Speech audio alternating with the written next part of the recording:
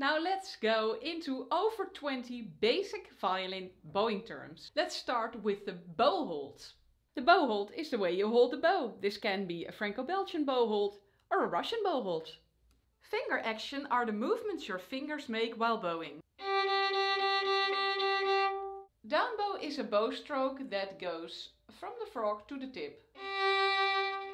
Up bow is from the tip to the frog. Choosing between the two is called a bow direction. Slurred bowing is playing multiple notes on one bow stroke.